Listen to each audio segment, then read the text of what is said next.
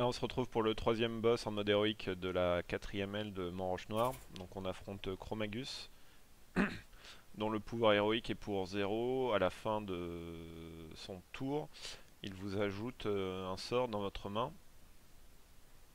Donc c'est un sort qui, euh, qui tant qu'il est dans votre main, apporte un bonus à Chromagus. Donc il y en a 5 différents.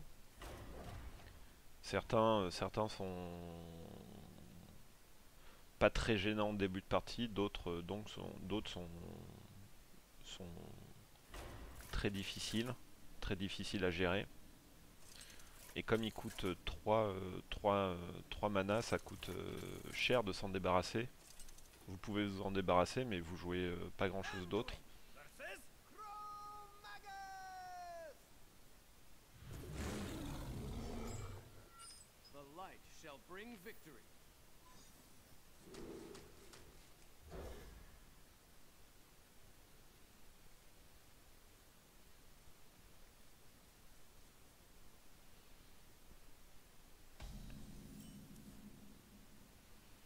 Donc là c'est bien d'avoir un géant des montagnes euh, en main dès le départ puisque euh, on va avoir euh, rapidement beaucoup de cartes en main.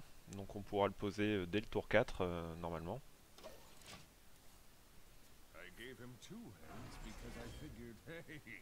Double the biting.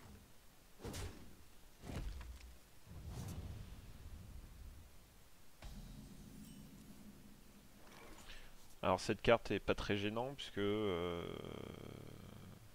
tant qu'elle est dans votre main, elle restaure 6 points de vie à Chromagus.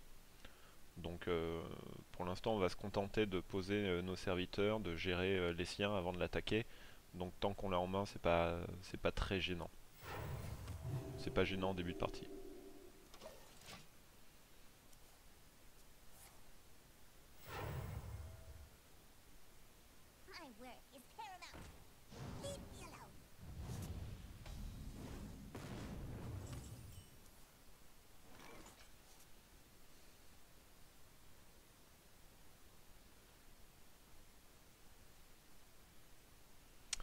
Donc au prochain tour, on pourra jouer le géant des montagnes. euh, ou alors le Twilight Drake.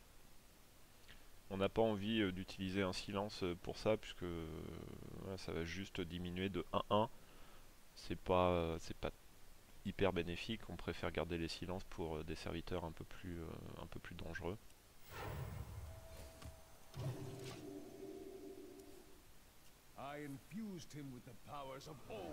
Dragonflights.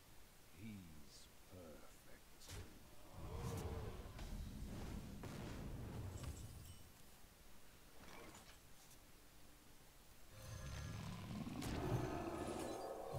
In the light's name.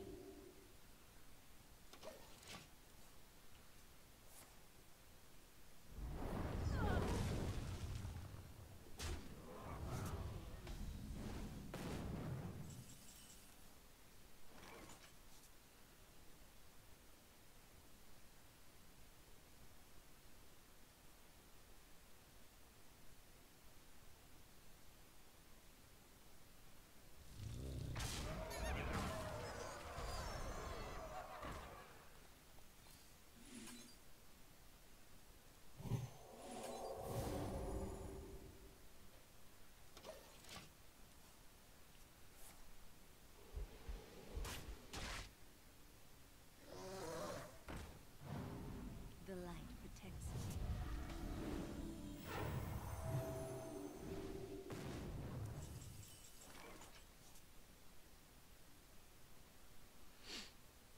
Donc celle-là est pénible.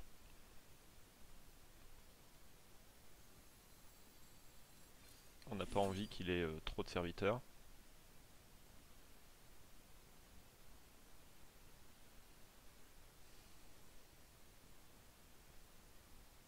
Ensuite, euh, j'aimerais bien garder euh, mon géant.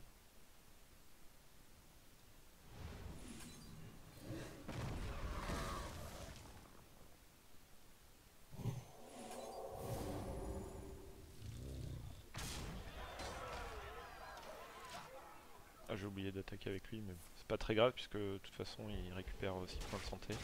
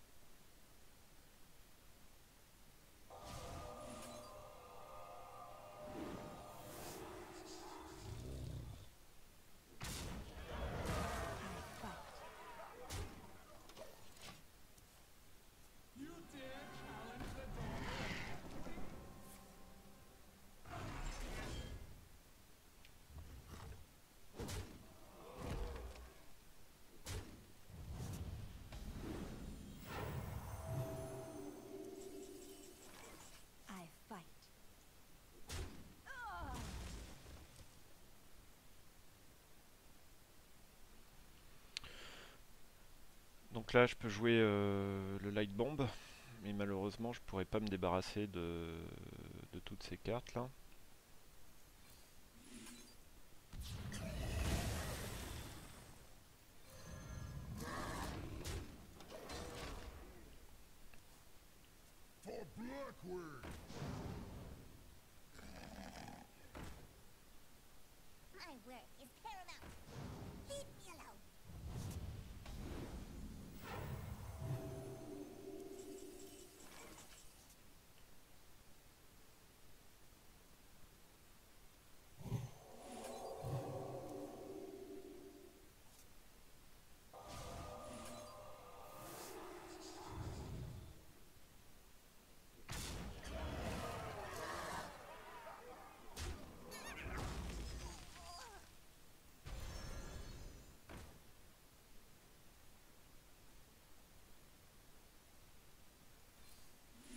Donc là, on peut se débarrasser de ça.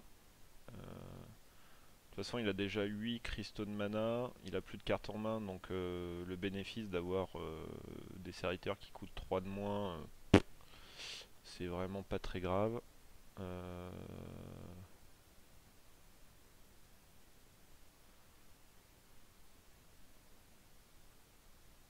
vais plutôt soigner, le géant parce que j'ai pas envie qu'il soit tué au prochain tour.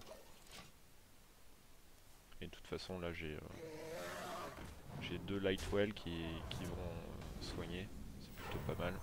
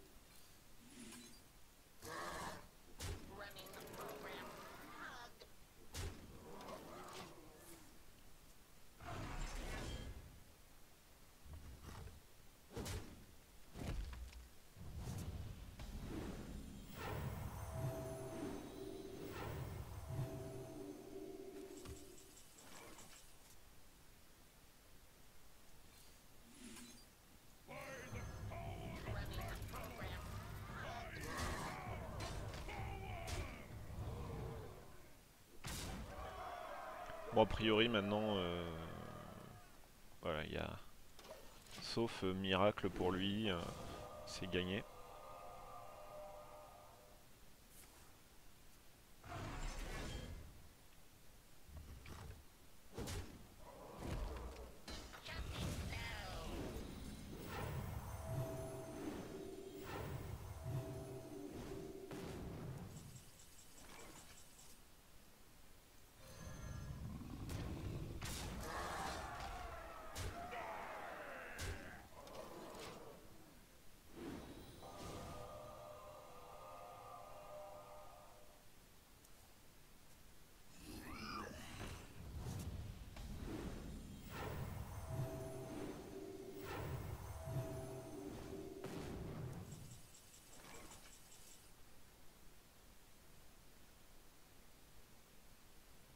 Je peux même pas le, voler parce que mon, plateau euh, sera plein.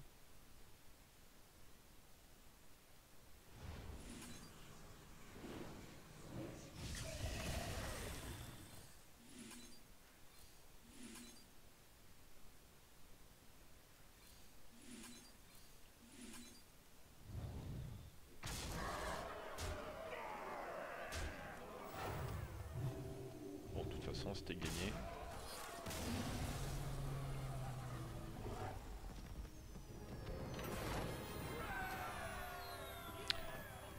On va aller voir le deck.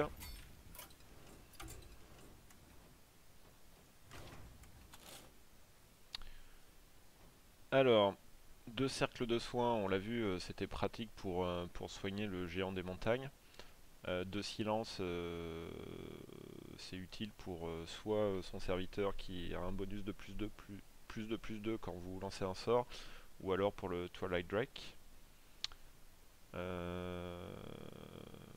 Light of the Nehru, c'est toujours, euh, c'est toujours sympa comme carte et ça coûte que 1. Euh, mode pouvoir bouclier, ça m'a été utile pour, euh, bah, pour combiner avec Light Bomb de mémoire. Euh, Shadow Ward Pain, très bien. Lightwell, bah, c'est plutôt, plutôt sympa pour reprendre de la vie. Shadow Ward Def euh, pour, pour gérer ses gros serviteurs. Twilight Drake, parce que vous avez pas mal de cartes en main, donc c'est quand même plutôt bien. Et puis euh, les géants, bah voilà, on l'a pu le voir, c'était euh, euh, des serviteurs cruciaux pour, gagner face à Chromagus. Voilà, j'espère que ça vous aura plu et on se retrouve pour le quatrième et dernier boss de cette aile de Mont Roche Noire. A tout de suite.